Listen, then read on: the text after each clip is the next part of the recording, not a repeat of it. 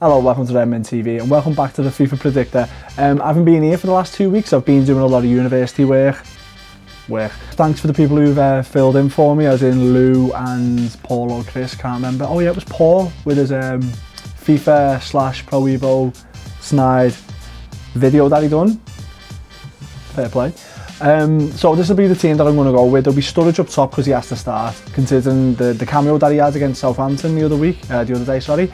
Uh, Coutinho on the left, Firmino on the right. Lallana has to start as well. Th those two are so important for us to start. If we're to get maximum points out of these last two games, away to West Ham on the weekend, and then the following week we've got Middlesbrough on the final day of the season.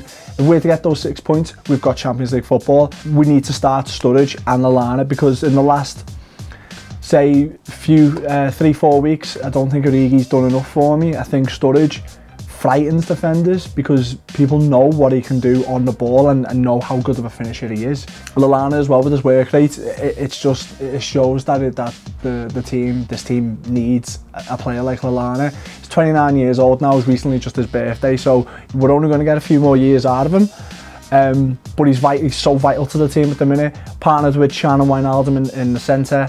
Uh, Firmino on the right, Coutinho on the left.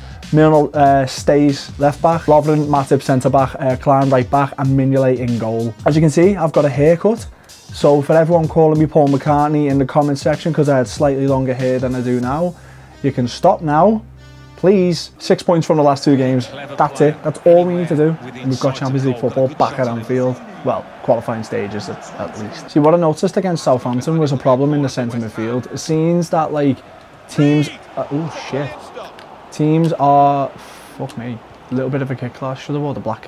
Centre midfield problem at the minute because it seems that teams are just giving Lucas Leiva time on the ball when he when he's there at the back in the absence of Henderson. So much time on the ball and he just couldn't do anything with it. Like, since Steven Gerrard left the team, we haven't really had that, that maestro, that fucking regista type of player to fill in that that that that hole in midfield. I mean, Henderson's done a very good job. He's like one of the best passers in the league. He's he's, he's top of the charts in like most of the midfield categories. Sturridge.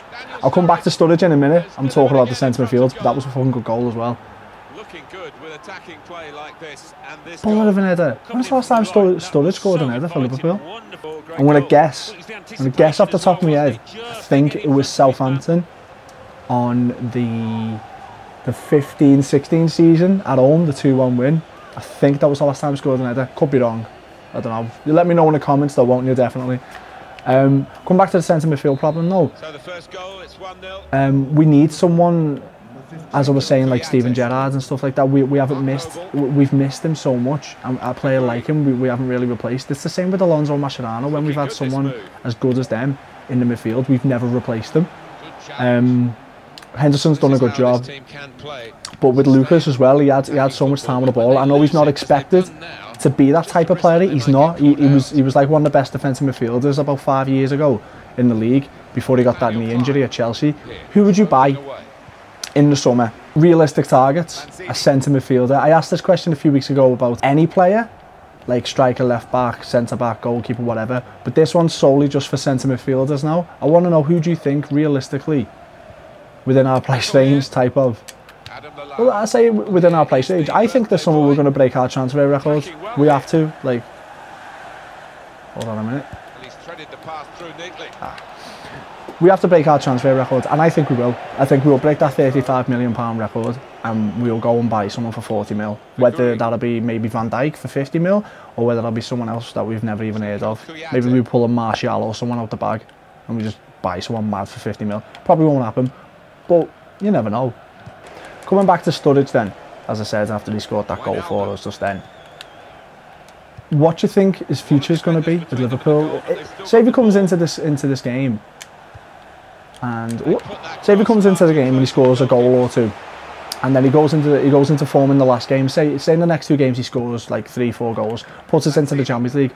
Do you think that strengthens Sturridge's position in the squad? Do you think Klopp will, will still want him still want him around? You got to think about Sturridge is one of the highest earners at the club as well and he doesn't play more than 20 30 odd games a season someone who's your highest paid player, you want him to be a consistent player. You want him to be playing constantly as well. Not just playing good, you want him to be playing constantly. And Sturridge doesn't doesn't do that for us anymore. It's, it's devastating because he peaked in the 13-14 season under Rodgers with with Suarez a partner him in the strike. And now people will say like, oh yeah, Suarez that season, unbelievable. Yes, he was fucking unbelievable. But that doesn't change the fact that Sturridge chipped a goalkeeper against West Brom. He, he scored another 25 odd goals that season. Su Suarez in the system in every in every goal. You know, he, he, Sturridge can be world class if he's fit and if he's on the ball. Ooh. But what do you think about Sturridge? Do you think he's going to stay here? Do you think, you know, what's going to happen with him? He's about 20, I think he's about 27 now.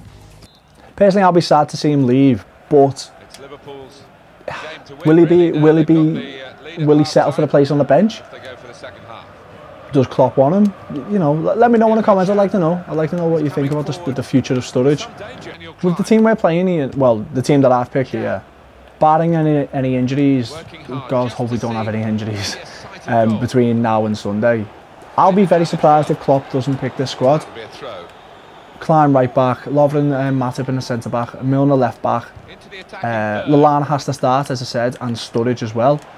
I'll be very surprised that if Lallana doesn't start, uh, that will shock me because he has to start. He played the majority of the game against Watford and he didn't start against Southampton either, so he has to start against West Ham here. The next two games he has to start as well. With Sturridge, for me personally, he has to start, but uh, maybe Origi will keep his place, but who knows? No one knows, apart from Klopp and his backroom staff. Brought on Trent Grujic and Moreno. Like, I like Moreno on FIFA, he's really, really quick. But can he do anything else? He can assist. He can assist the goal. He can cross the ball in, and he can assist, like he did against Crystal Palace earlier in the season away. Cross the ball in for Emre Can in that game, and I was just crossing for James Milner, who I pushed up into the centre midfield. And that's why Milner should be in midfield as well, because he's a fucking midfielder.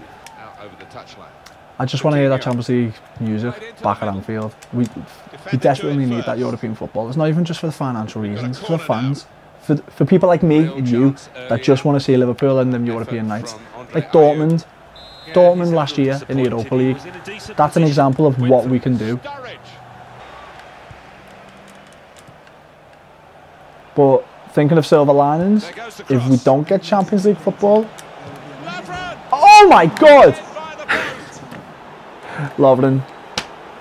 Lovren scored in scissor kicks. Well, we see it again, how close it was to maybe hitting the post and staying out, but luck was with him. That's ridiculous. It well, it's not it's kind of like he's fallen, kicking it.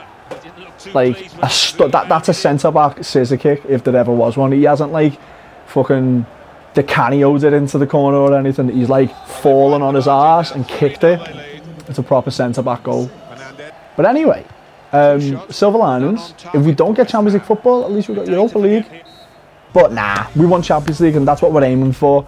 Um, full time, 3-0. Thank you for watching for the, uh, this week's FIFA Predictor. Um, final episode of the season coming up next week with Middlesbrough. And um, if you like what you see, uh, give this video a big thumbs up please. Um, subscribe to the channel if you haven't already. Thanks for watching again and ta -da.